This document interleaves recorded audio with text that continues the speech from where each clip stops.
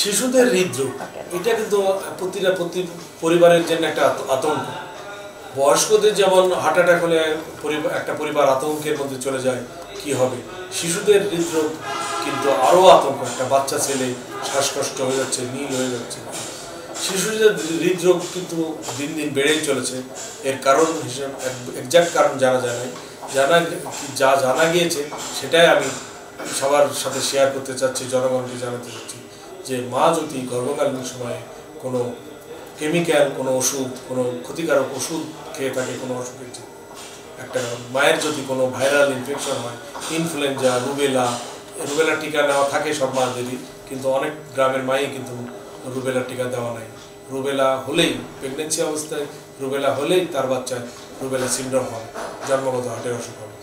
তারপরে হচ্ছে খাবার দাবার কন্টামিনেশন হতে পারে, পরিবেশ থেকে হতে পারে, মা গর্ভবতী অবস্থায় খুব সাবধানে থাকবে এই জন্য, যাতে তার কোনো অসুখ বিসুখ না হয়, তার যাতে কোনো ওষুধ খাওয়া না লাগে, তার খাবারটা যেন পুষ্টিকর হয়, তার খাবারে যেন কোনো খারাপ কেমিক্যাল না থাকে ফরমালিন থেকে শুরু করে যে কোনো কেমিক্যালই হার্ট তার বাচ্চার জন্য হার্টের স্ট্রাকচারাল হার্ট ডিজিজ হার্টের ক্ষতি, জন্মগত হার্টের ত্রুটি করতে পারে।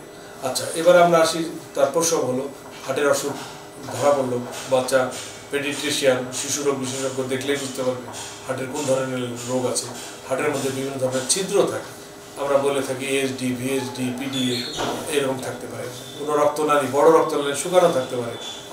পালমোনারি স্টেনোসিস অ্যাওটিক স্টেনোসিস থাকতে পারে। তারপর কমন যে হাত পা নীল হয়ে যায় টপ বলে টেট্রালজি অফ ফ্যালো এই অসুখগুলো বাংলাদেশে খুবই প্রাদুর্ভাব। এবং বাংলাদেশের জন্মগত অসুখের মধ্যে আমি বল- বল- বলতে পারব যে এএসডি হার্টের মধ্যে একটা ছিদ্র, দুই অলিন্দের মাঝখানে একটা ছিদ্র, এটা ফার্স্ট কম সেকেন্ড হচ্ছে নিলয়ের মধ্যে ছিদ্র। সেকেন্ড থার্ডই হচ্ছে টপ তার টেট্রালজি অফ ফেলো চারটা জন্মগত ত্রুটি একসাথে বিরাজ করলে সেটাকে টপ বলে। এইগুলোর চিকিৎসা আমাদের এখানে প্রতিনিয়ত হচ্ছে। কিন্তু নোটিস করা, বাচ্চারা অ্যাপ্রুভ সময় মতো চিকিৎসার শরণাপন্ন হওয়া খুবই জরুরি। কারণ এই হার্টের জন্মগত ত্রুটি সব অসুখের জন্য যে নিয়ম, এরও তার নিয়ম যে সময় মতো চিকিৎসা করতে না পারলে চিকিৎসা করাই যাবে কারণ পার্মানেন্ট ক্ষতি যদি হয়ে যায় এই ডিফেক্টের জন্য, পরবর্তীতে তার এই ত্রুটিগুলা কারেকশন করলে কোনো বেনিফিট পাবে। এখন মিনিমাল ইনভেসিভ কার্ডিয়াক সার্জারি বেরিয়েছে আগে যেমন পুরা বুক কেটে ভাগ করে অপারেশন করতে হতো, এখন কিন্তু ছোট এমআইসিএস আমাদের হসপিটালেই করছে ইয়াং সার্জনরাই করছে, ছোট ছিদ্র করে তারা ওই ছিদ্রটা বন্ধ করে দিচ্ছে, পটি লাগায়। এবং আমরাও বয়স্ক হলে আমরাও কিন্তু আর অপারেশন করতে দিই না।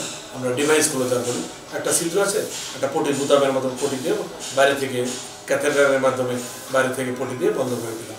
এই হচ্ছে এটা চিকিৎসা। আচ্ছা এবার আসি যে তারা কখন জানাবে? তারা বাচ্চার কোনো লক্ষণ যদি দেখে যে বাচ্চা শ্বাসকষ্ট হচ্ছে, বাচ্চা নীল হয়ে যাচ্ছে, কাঁদলে, তখনই তারা ডাক্তারের শরণাপন্ন হবে।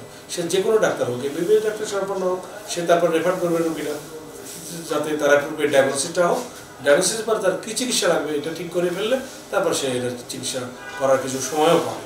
কিন্তু চিকিৎসা এই এই ডায়াগনোসিস করতে যদি তার যেটা ছয় মাস বয়সে ডায়াগনোসিসের কথা ছিল, সেটা যদি ছয় বছর হয়ে যায়, বিশ বছর হয়ে যায়, তাহলে কিন্তু তার অপারেশন করেও কোনো লাভ হবে না।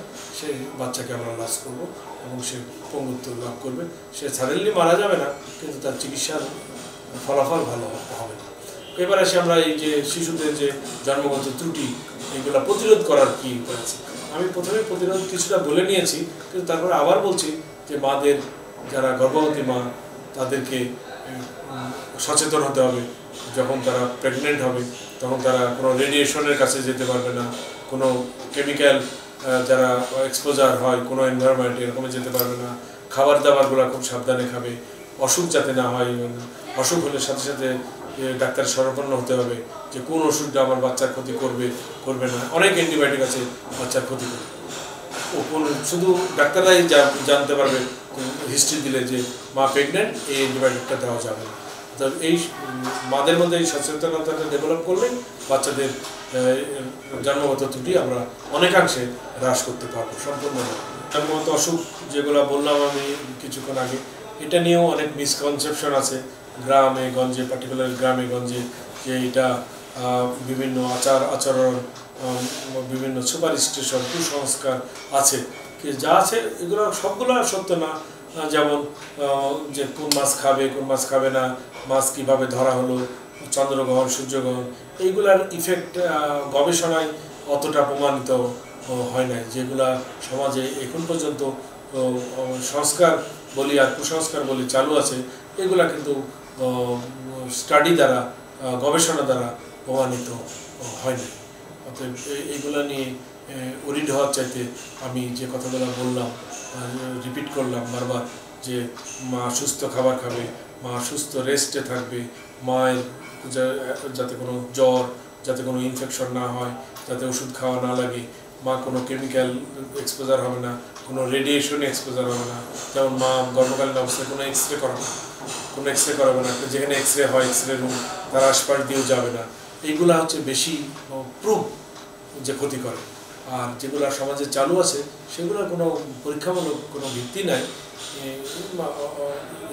যেন অত হওয়ার মতো আমি কিছু দেখি না।